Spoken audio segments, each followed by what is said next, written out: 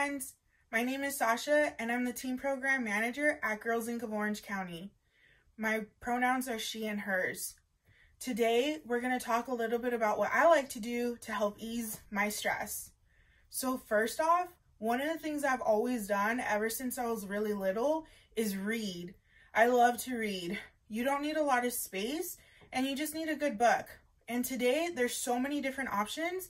You can have a regular hard book you can have an ebook, an audiobook, you can rent your books, you can swap your books, and now there's book clubs. So there's different ways that you can get involved with reading. One of my favorite things to read is things like Harry Potter. This is my favorite book and my favorite series. As you can tell, it's a little banged up, but it's one of my favorite things to do so that I could feel like I could get away for, for a few moments. Another thing I like to read too is books about my culture, different places around the world, and different places that have not even been discovered yet. Another thing that I like to do is plan. Now, planning doesn't sound so like amazing, but to me it is because planning gives me a sense of control that sometimes I don't always feel like I have. And there's lots of things to plan if you think about it. Like, what time are you going to wake up? When are you going to do your laundry? When are you going to do your homework? And trust me, I know I still have homework. I put in my projects, when things are due, when I should study, and I also use it as like a memory keeper. So I'll put my friends' birthdays in there, anniversaries. I'll even put things that were super exciting about that day.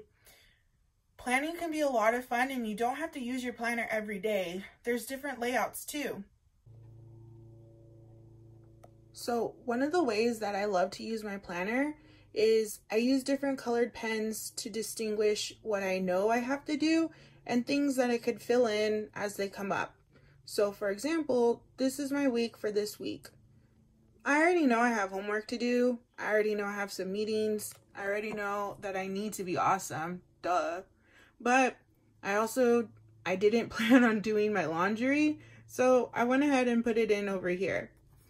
And another thing that I like to do is put stickers to help me just feel better about something that I did. So right next to being awesome, I'm going to put a little P sticker there.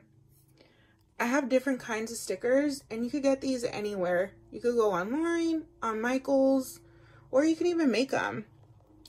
These are what blank pages look like.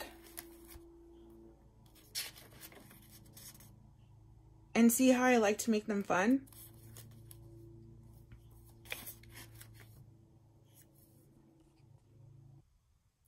Lastly, one of the things that I like to do is to call my friends. Now, I know right now is not the best time to hang out with our friends, but you can always be creative. One of the ways that we get to hang out, or I get to hang out with my friends, is through FaceTime or Google Hangouts. I'll even ask them or plan ahead if they want to watch a movie with me. So I'll say something like, hey, are you free tomorrow at 7 p.m.? Do you want to log on to Netflix at the same time and we'll watch a show together or even a movie? It feels like we're right there next to each other, but we're not. We're just using Google Hangouts, which is really awesome. And that way you get to stay connected. So right now, let me call my friend Chelsea. Hi, friend. Hi, friend. This is my friend Chelsea. And because we're going to go ahead and watch our movie together, I'll let you know that I will see you next week. Don't forget that you two are always going to be strong, smart, and bold.